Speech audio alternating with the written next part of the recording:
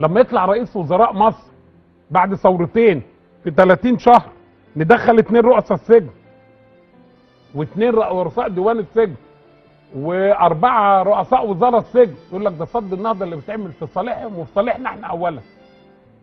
إيه الكلام الفارغ ده؟ الراجل ده إزاي ما اتحاسبش على البق ده بس؟ الكلمة دي لو قالها قدام قاضي لازم يتحبس.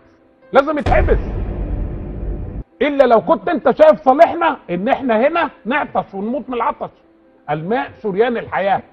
الناس بتتخانق الحروب القادمة حرب على المياه.